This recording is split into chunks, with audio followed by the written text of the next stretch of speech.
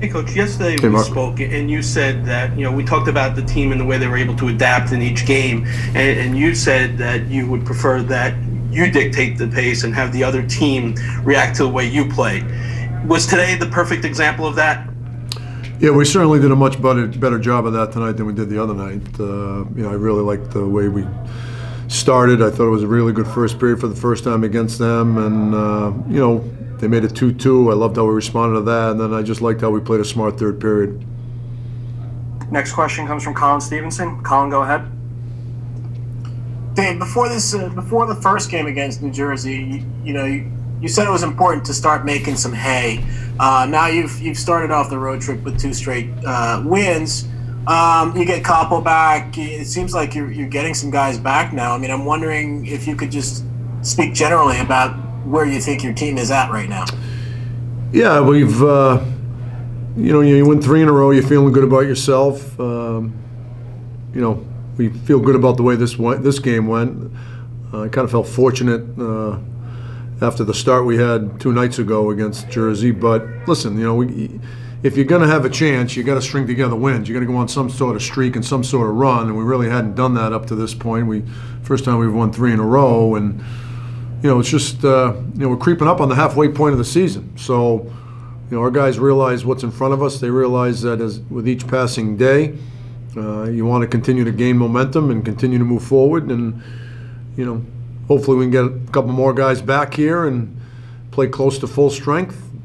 A lot of teams aren't doing it this year, but uh, you know we've done a pretty good job managing some adversity, and we just got to keep moving forward and build on what we just did today. Next question comes from Rick Carpiniello with The Athletic. Carpy, go ahead. Hey, David. I, I know you're, you're tied up in the game and the playoff race and all that, but but when you when you sit back and look at the contributions you get from the kids, the, the, the guys who played today, um, what goes through your mind?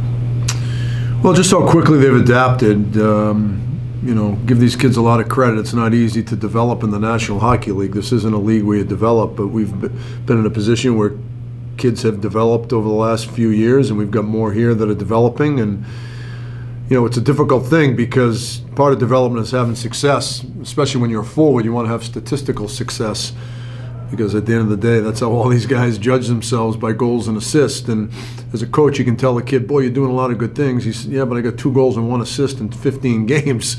Um, so you know, it's a dramatic change in their hockey life, uh, how they're judged and the success that they usually have. It comes to an abrupt halt, and you know, you got to be mentally tough to handle it. And these kids have done a good job of that.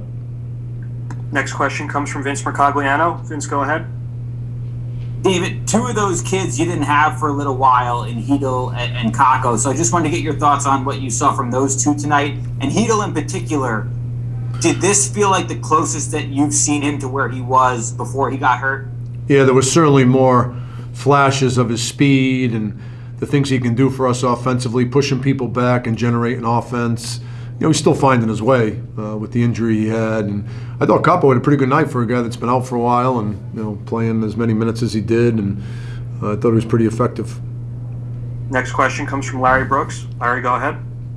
Two things. Is uh, is there any issue with Mika um, uh, seeing his issue at the end of the game? And have you decided on a goaltender for tomorrow? Yeah, no issue with Mika. He feels pretty good. It was just kind of a he caught a rut and you know, got a little stunned there, and uh, not sure yet on the goalie yet. We're going back and forth right now, so uh, that's something we'll uh, decide tomorrow morning. Next question comes from Colin Stephenson. Colin, go ahead.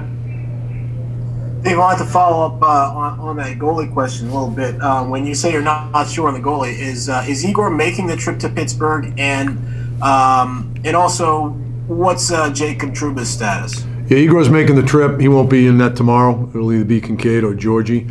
Uh, Trouba's very, very close to playing, so he's coming on the trip as well, and I'll be stunned if we don't see him uh, on the trip. Play Next again. question comes from Vince Mercogliano. Vince, go ahead. David, I want to ask about Gauthier because he, he gets two assists. It looks like he made some plays today, but there was also a stretch where he wasn't playing. So was it an up and down day for him, or was there an issue there? No, it was it was just uh, one of those with some penalties, and um, you know he actually got he actually had to go in and get X-rays, so that's why he didn't play. It had nothing to do with his play. He was playing well, so we, we lost him for about seven or eight minutes. Okay, And, he- are and he's and he's fine and he's fine health wise. It was just a precautionary thing.